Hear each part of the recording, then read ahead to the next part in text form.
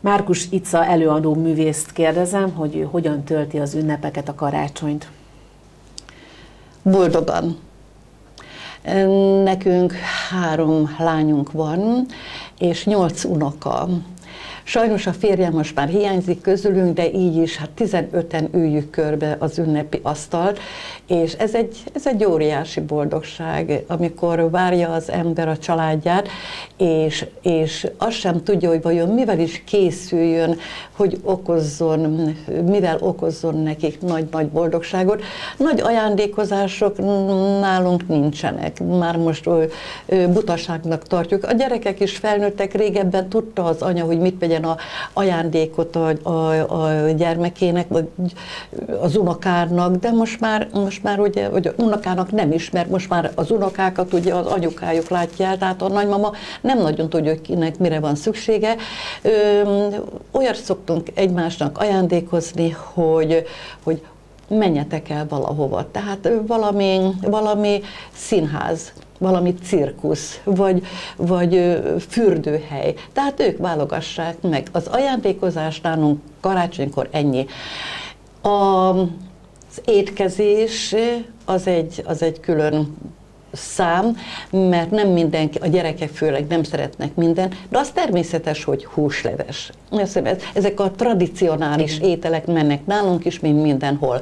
Pulyka, hal, töltött káposzta, sütemények közül. És igen, most a főételeket néztem, hogy más nem is ilyen, és a sütemények.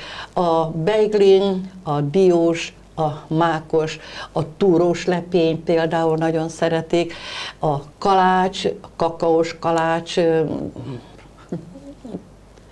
aztán valamilyen édesség, valamilyen krémes sütemény még jön mellé, de, de igazából ezek azok, amivel én kedveskedek a családnak, körbeüljük az asztalt, ami szépen fel van díszítve, és a karácsonyfa persze ott van valahol mellettünk, a gyertyák égnek. Pontosan a dekorációra akartam rá Igen, egyébként is én már et, ilyenkor ö, októbertől minden nap égettem a gyertyát, valahogy nekem ez egy olyan, olyan jó hangulatot ad a, a lakásba, tehát nálam minden nap ég. Karácsonykor meg hát még a fenyőfál lévő gyertyák is világítanak ránk, és és gyönyörködünk benne.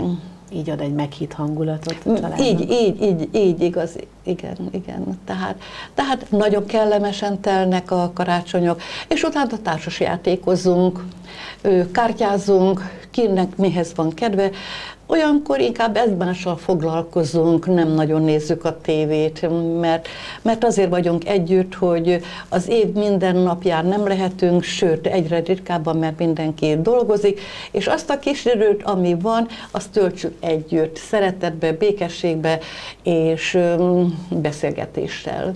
Köszönöm. Én is köszönöm.